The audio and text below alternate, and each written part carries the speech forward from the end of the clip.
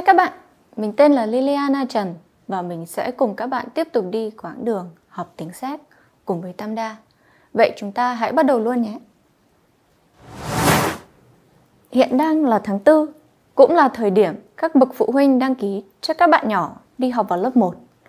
Có thể các phụ huynh sẽ gặp một chút khó khăn. Vậy hãy cùng mình xem qua cách đăng ký cho con vào lớp 1 có những thủ tục nào. Cũng như năm ngoái, vì đại dịch Covid nên có nhiều việc các phụ huynh phải làm online. Quá trình đăng ký cho con đi học được gọi là Zapis do Szkoli. Zapis do Szkoli. Form để đăng ký vào trường học được gọi chung là Přihláška. Přihláška hoặc là žádost o přijetí dítěte. Žádost o přijetí dítěte k základnímu vzdělání. Bạn có thể điền biểu mẫu trên máy tính hoặc in ra và viết tay. Nhưng thường theo yêu cầu của các trường học, bạn sẽ phải gửi qua đường điện tử. Có một số thông tin bạn cần chú ý trước khi điền. Jméno žáka.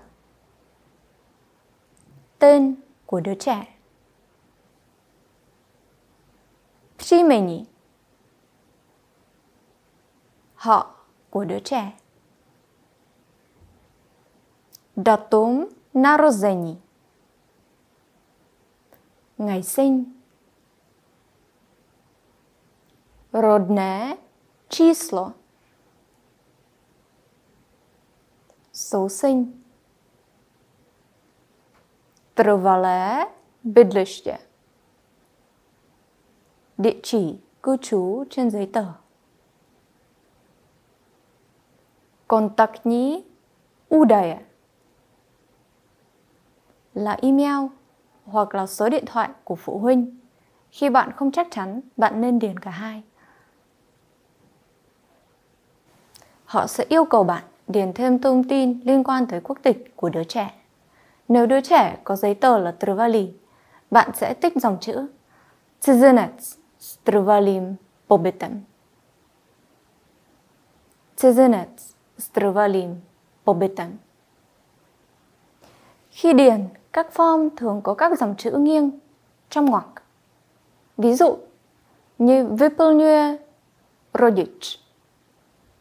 Vyplňuje rodič có nghĩa là phụ huynh điền.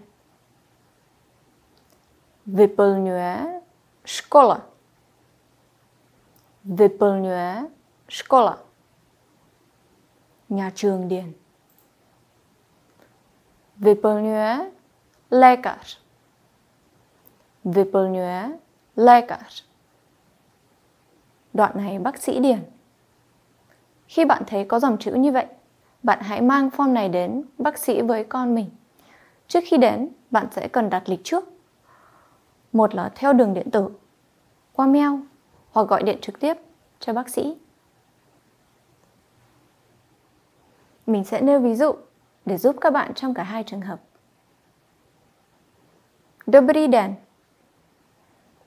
Můj syn nebo moje dcera nastupuje do první třídy.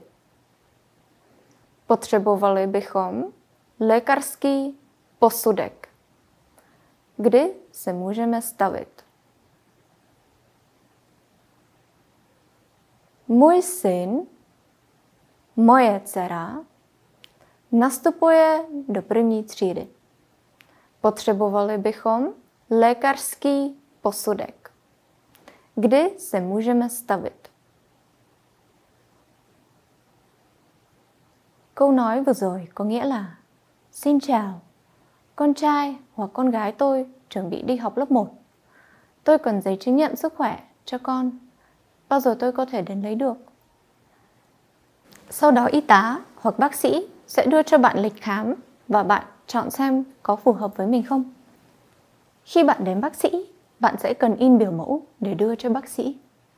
Biểu mẫu đó được gọi là posudek Zdravotní způsobilosti dítěte. Bạn hãy tìm form này trên các trang web của nhà trường.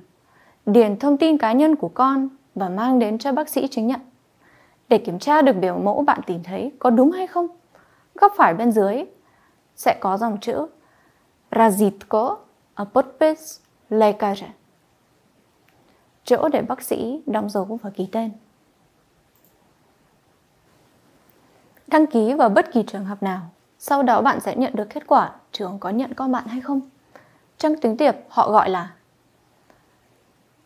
Rozhodnutí o přijetí. Rozhodnutí o přijetí. Sau đó bạn sẽ tìm được dòng chữ přijat hoặc là přijata. Přijat, přijata. Đã được nhận vào trường. Ngược lại, các bạn cũng có thể nhận một tin buồn. Đó là nepřijat. Nepřijata. Nepřijat. Nepřijata. Không được nhận vào trường. Và đó là các bước bạn phải trải qua trước khi vào trường. Chúng ta sẽ tìm hiểu về các loại trường học và khi đi học sẽ có những từ ngữ nào hoặc thông tin gì cần biết đến trong buổi sau nhé. Vậy là học tiếng xác của người Tam Đa đến đây là đã kết thúc rồi. Cảm ơn các bạn đã quan tâm theo dõi và hẹn gặp lại các bạn trong buổi học tiếp theo. Và bây giờ, á ơi!